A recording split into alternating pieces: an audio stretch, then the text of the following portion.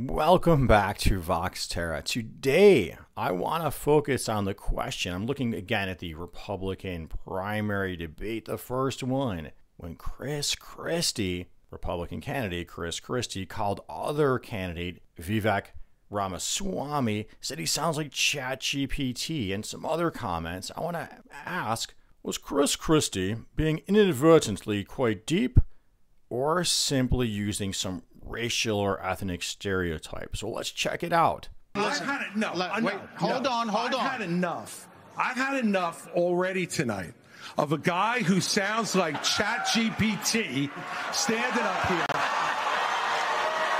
And the last person in one of these debates, Brett, who stood in the middle of the stage and said, What's a skinny guy with an odd last name doing up here? was Barack Obama. Well, the ChatGPT combined with the Barack Obama analogy, I would say dancing with or flirting with or touching upon or evoking some ethnic or racial stereotypes. Just simple stream of consciousness. We'd think Vivek and of Indian descent. We're going to have associations of people from India and China as in the tech industry in the US of A, involved in programming.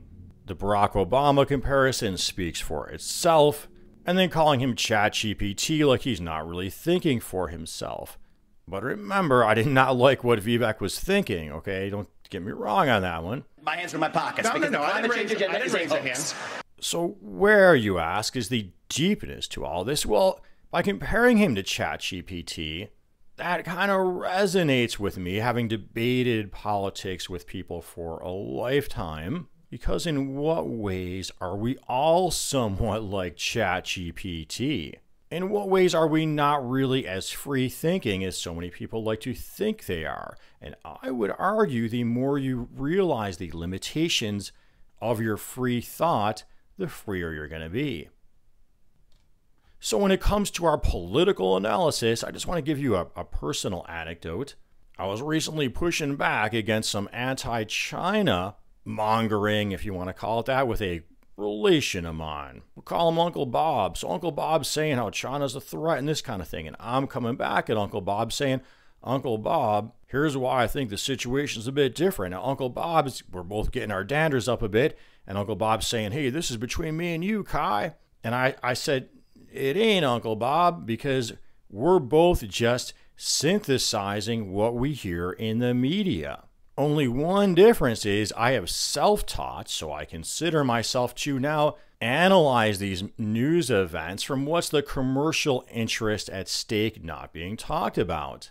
What are the commercial interests driving war and conflict on our end? What are the commercial interests driving the continuous use of fossil fuel petrochemicals and this disposable throwaway economy we seem so locked into?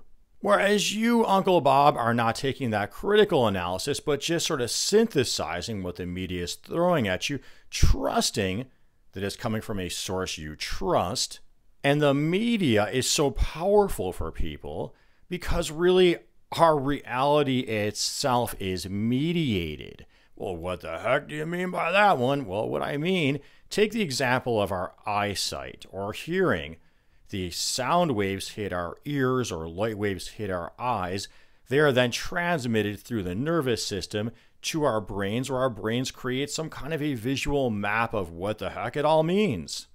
But there's not exactly a you or an I experiencing reality directly. Well, we could think about how consciousness itself operates. We know there's these things called nervous cells, and they're transmitting information through these electrochemical signals. And then apparently there's stuff, some stuff happening in the quantum field now, I'm hearing. But there's some similarity to how the computers are working with these electrical signals. Oh, yeah, and I almost forgot to mention that to comment on Chris Christie calling Vivek Ramaswamy an amateur. And I'm afraid we're dealing with the same type of amateur standing on stage Come tonight. over and give me a hug. give me a hug just like you did to The same Obama. type of amateur. And, and you'll help elect me just like you did to Obama, too. Give me that the same hug, type of amateur. Got- hold on, hold on. Well, if we take that away from just Vivek Ramaswamy, but apply it to really all of our elected officials, then it becomes a deep comment if people got that, that none of these people are really experts in everything. They just know their narrow field and how they got to where they are. Take Donald Trump. A lot of people believe because he's rich, he's somehow an overall expert.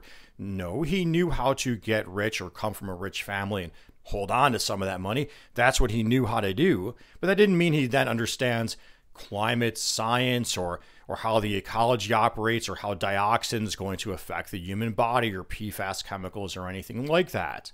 Well, did Chris Christie mean to be so deep? I really don't think so, but I thought it was an interesting food for thought kind of video. And if you thought so too, please make sure you're subscribed to my channel. Yeah, click that notification bell. You're commenting, you're liking, offering constructive criticism as well as positive feedback.